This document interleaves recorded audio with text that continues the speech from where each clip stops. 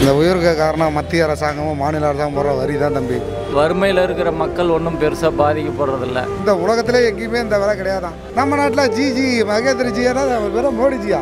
அவர் வேலை அதிகமாக விற்கிறாரு அதுக்கு என்ன பண்ண முடியும்? இதில் வேறு இலவசமாக வேறு பஸ்ஸில் வந்து லேடிஸுக்கு இலவசமாக விட்றாங்க குறையறதுக்கு சாத்தியம் இல்லை குறையுங்கிறது என்னோட வாய்ப்புகள் இல்லை. இது மத்திய அரசு வந்து குறைக்கிறதா குறைச்சாலே ஒழிய மற்றபடி எதுவுமே குறையாது.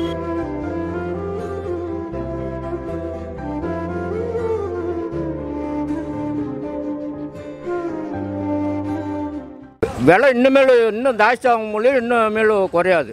எந்த பொருளுமே விலை உயர்வு காரணம் வந்து ஏற ஏற ஏறிக்கிட்டே தான் இருக்கும் மொழிய கம்மியாகிறதுக்கு எந்த காலத்துலேயும் இப்போ இருக்கிற நடைமுறைக்கு சாத்தியப்படாது. பெட்ரோல் விலை இன்னைக்கு வந்து நூற்றி மூணு ரூபாய்க்கு மேலே வந்துருச்சு. இது என்னென்ன காரணம் இவ்வளோ உயர்வுக்கு இவ்வளோ உயர்வுக்கு காரணம்னா சரியான அரசுடைய வழிகாட்டுதல் இல்லை பெட்ரோல் துறைக்கு தனியாருக்கு கொடுத்ததுனால அவங்க இஷ்டத்துக்கு அவங்க வந்து விலையை ஏற்றிக்கிறாங்க ஆனால் பெட்ரோல் விலை எவ்வளோ எவ்வளோன்னு தெரியுமாண்ணா இன்னைக்கு? நூறுரூவா வந்து நூறுரூவாய்க்கு மேலே வந்துச்சுன்றாங்க. இந்த உயர்வுக்கு காரணம் என்னண்ணா? இந்த உயர்வுக்கு காரணம் மத்திய அரசாங்கமும் மாநில அரசாங்கம் போடுற வரி தான் தம்பி. பெட்ரோல் சர்வதேச விலைக்கு ஏற்பதானே இந்தியாவில் முடிவு பண்ணுறாங்க அதனால் வறுமையில் இருக்கிற மக்கள் ஒன்றும் பெருசாக பாதிக்கப்படுறதில்ல. இன்றைக்கி பெட்ரோல் விலை நூ நூற்றி ஒரு ரூபாய்க்கு மேலே பா- மேலே நெருங்கிக்கிட்டு இருக்குது. அந்த விளைவுக்கு என்னென்ன காரணமாக இருக்கும்? இது வந்து அரசாங்கம் தான் மெயின் காரணம். தமிழ்நாடு கவர்மெண்ட்டு இந்த டாக்ஸ்னு போடுறான் என்னது கலால் வரின்னு போடுறான். அவன் ஒரு டாக்ஸ் போடுறான். இதெல்லாம் போட்டு போட்டு இப்படி மக்களை ஏற்றி விட்றானுங்க. இந்த உலகத்திலே எங்கேயுமே இந்த விலை கிடையாதான். இந்தியாவில் மட்டும்தான் இந்த விலை இருக்குதுன்னு சொல்லி பத்திரிகை செய்தி வருது. அதுக்கு மேலே என்ன சொல்கிறது டூ வீலர்லாம் மிடில் கிளாஸ் பீப்புளும் அப்பர் கிளாஸில் தான் வச்சுருக்குறாங்க. பெட்ரோல் எவ்வளோ விலை உயர்ந்தாலும் பாருங்கள் டூ வீலர் போகிறது குறையுதா? சும்மாவே வண்டி எடுத்துகிட்டு சுற்றுறாங்க இல்லை நம்ம நாட்டில் தான் வாங்கி வைக்கிறவனே விலை கம்மியாக வைக்கிறானா? நம்ம நாட்டில் ஜிஜி மகேந்திர ஜியா வெறும் மோடிஜியா.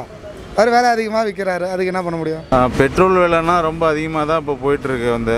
அதே என்ன சொல்கிறதுனா இப்போ விஸ்வரூபமாக வந்து நூறுரூபாய்க்கு த தாண்டிருச்சு. இன்னமும் வந்து அது குறைக்கிற மாதிரி ஒரு வாய்ப்புகள் இல்லை.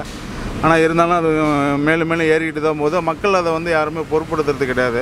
அவங்களோட தேவைக்காக அதையும் அவங்க வந்து ரேட்டு எவ்வளவோ அவ்வளோன்னு சொல்லிட்டு நான் எதிர்பார்க்கறதில்ல போட்டு போயிட்டு போ போயிட்டு தான் இருக்காங்க.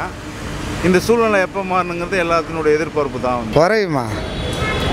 இருக்கிற பொதுமக்களை சாவாங்களே தவிர அவர் கொண்டுட்டு நியூ இந்தியா உருவாக வர புதிய பாரதத்தை உருவாக வர தவிர பெட்ரோல் விலையெல்லாம் குறைச்சி எங்களை மாதிரி ஆளுங்க ஆட்டோ டிரைவர் இந்த லாரி டிரைவர் இந்த மாதிரி ஆளுங்கள்லாம் எங்கெல்லாம் பொழைக்கலாம் மாட்டார். அதாவது அவருடைய வந்து நியூ இந்தியா திட்டம்னா என்னென்னா ஏழைங்களை வந்து காலி பண்ணிவிட்டு பணக்காரங்களை வளர்த்து விடுவார். அவ்வளோதான் அவருடைய இது. சில வேறு இலவசமாக வேறு பஸ்ஸில் வந்து லேடிஸுக்கு இலவசமாக விடுறாங்க இப்போ இந்த பெட்ரோல் விலை டீசல் விலை ஏறினதுனால எங்களுக்கு வந்து வாழ்வாதாரம் ரொம்ப கம்மியாகிட்டு இருக்குது. ரொம்ப அன்னாடு நெ- நிலைமைக்கு சாப்பாட்டு இதுக்கு ரொம்ப சிரமப்பட்டுக்கிட்டு இருக்கிறோம். பாதிக்கிறது மக்கள் வந்து எங்களாட்டம் இருக்கிற ஆட்டோ டிரைவருங்க மக்கள் வந்து ரொம்ப பாதிக்கிறோம். மெயின் காரணம் இது வந்து அரசுகள் தான் இதுக்கு காரணம். மக்கள் நம்மளாம் ஏற்றி இறக்க முடியாது பெட்ரோல் விலையா. அரசாங்கம் தான் ஏற்றும் இறக்கும். அவங்க தான் வரி கம்மி பண்ணுறதும் அதிகப்படுத்துறதும் அவங்க கையில் தான் இருக்குது என்னை பொறுத்தளவுக்கு பார்த்தீங்கன்னா மோடி ஐயா கவர்மெண்ட்டை தான் சொல்ல முடியும். ஏன்னா இப்போ அவர் தான் இப்போ பண்ணிட்டுருக்காருப்பா எல்லா கண்ட்ரிலையுமே வந்து பெட்ரோல் டீசல் எல்லாம் ரொம்ப அடிமட்ட ரேட்டில் தான் கொடுக்குறாங்க. ஆனால் இந்தியாவில் மட்டும்தான் வந்து இந்த அளவுக்கு பெட்ரோல் ரேட் வந்து கொடுக்குறது இங்கே மட்டும்தான் வந்து கொடுக்குறாங்க. எல்லா தொழில் வளமும் எல்லா செல்வமும் இருந்து இங்கே தான் இந்த அளவுக்கு பண்ணுறாங்க இதை வந்து கேட்குறதுக்கு யாருமே கேள்வி கேட்குறதுக்கு முதலமைச்சர் ஐயாவோ இல்லை மேலே இருக்கக்கூடிய மோடி இவங்கள முடிவு பண்ணால் மட்டும்தான் முடியும். குறையறதுக்கு சாத்தியம் இல்லை பல நாட்டில் வந்து இந்த அளவுக்கு பெட்ரோல் விலை இல்லை. இதை விட வாகனம் அதிகம் அங்கே வருமானம் மக்களுக்கு அதிகம். எல்லாம் அதிகமாக இருக்குது ஆனால் அங்கே பெட்ரோல் விலை இந்த அளவுக்கு இல்லை. இந்தியாவில் தான் இந்த அளவுக்கு இருக்குது. குறையறதுக்கான வாய்ப்புகள் இல்லை. ஏன்னா இந்தியா பொருளாதாரத்தை நிறைய இழந்துருச்சு. அதை ஈடுகட்டணுன்னா பெட்ரோல் தான் வேறு என்ன வருமானம் இருக்குது இந்தியாவுக்கு? குறையுங்கிறது என்னோடய வாய்ப்புகள் இல்லை இப்போ தான் இவ்வளோ ஏற்றிட்டாங்க திருப்பி வந்து பார்த்தீங்களாக்கா இப்போ நூறுரூவாய்க்கு போனதை வந்து ஒரு ரூபா வந்து குறைக்கிறதுங்கிறது ஒரு பெரிய விஷயம் கிடையாது. அது வந்து ஒரு கண் துடைப்பாக தான் நினைக்கிறோம். இந்த ரேட்டுங்கிறது இப்போவும் இப்படியே தான் இருக்கும். இப்போ கேஸ் சிலிண்டர் வந்து பார்த்தீங்கன்னாக்கா முந்நூற்றம்பது ரூபா இருந்துச்சு. இன்றைக்கி வந்து எட்நூற்றம்பது ரூபா இருக்குதுனாக்கா அதுவும் வந்து குறையுதுல ஒரு ஐம்பது ரூபா இந்த மாதிரி தான் குறையுமே ஒழிய இதுக்கு மேலே ரொம்ப நம்ம நினைக்கிற மாதிரி முன்ன மாதிரி ரேட்டுக்கெலாம் வரதுங்கிறது வாய்ப்பு கம்மி.